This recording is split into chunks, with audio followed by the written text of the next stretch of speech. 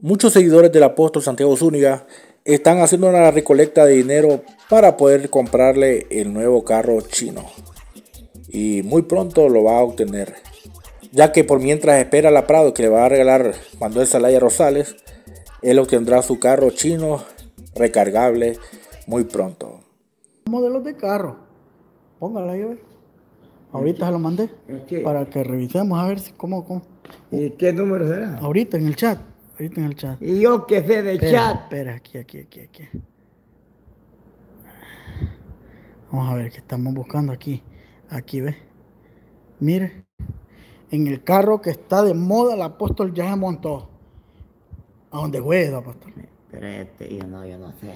Ah, Yo ni yo me entiendo de, de, de, a ver, de lo han armado esto. son carros de uno que están ahorita en exhibición, Tito, que son eléctricos. Ah, pues no, a saber diablo dónde será esto. Pero usted ya se montó, por lo que se mira ahí. Yo no he montado ver quién hizo este montaje. Ay, ¿Cómo es el montaje, Ah, Tito? me está montaje. hombre. No, hombre, ¿cómo es el mo- Mire, buscando chichi está ahí, ve.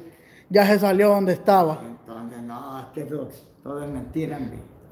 ¿Ah? Que es mentira eso, hombre. Que ando en ese carro. Es mentira. Es mentira. Pero son de unos carros eléctricos, Tito. Yo qué diablo sé si fueran eléctricos, yo no sé nada de eso. No, es, o sea, es una moda que está saliendo. Y yo creía que usted era el que estaba ahí, pues. ¿Qué diablo sé de eso? Pero es su foto. ¿Quién diablo lo ha hecho así? Mm. No, pero lo que le quiero decir es que está de moda el carro eléctrico, Tito. Ah, Y está valorado en unos 25 a 40 mil empiras. es barato. Sí, se carga, desechable. co- se carga como teléfono. Es desechable, eso no sirve. Pero para hacer sus mandados, Tito. No le hallo yo esto. Carga en 5 horas, dice. Oye, Y anda todo el día. no, no sirve.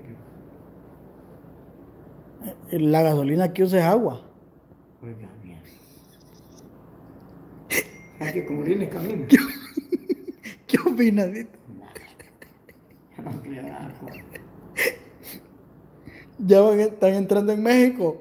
Ah, Ya van a entrar a Honduras. De repente lo miramos en uno de esos, Tito. no, no sé, Dios sabe. Bueno, aquí está el apóstol. Apóstol, No, mire, ya teníamos como dos días que no mandamos esta transmisión. ¿no? es que te- ya ha desaparecido de la radio. No ha vuelto a la radio, Tito. No, siempre voy a estar cuando Dios lo ordene.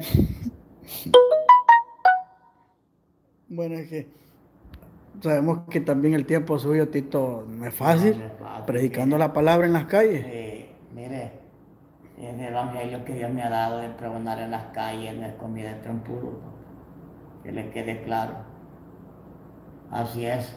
Luian, 2-3, saludos a Giovanni.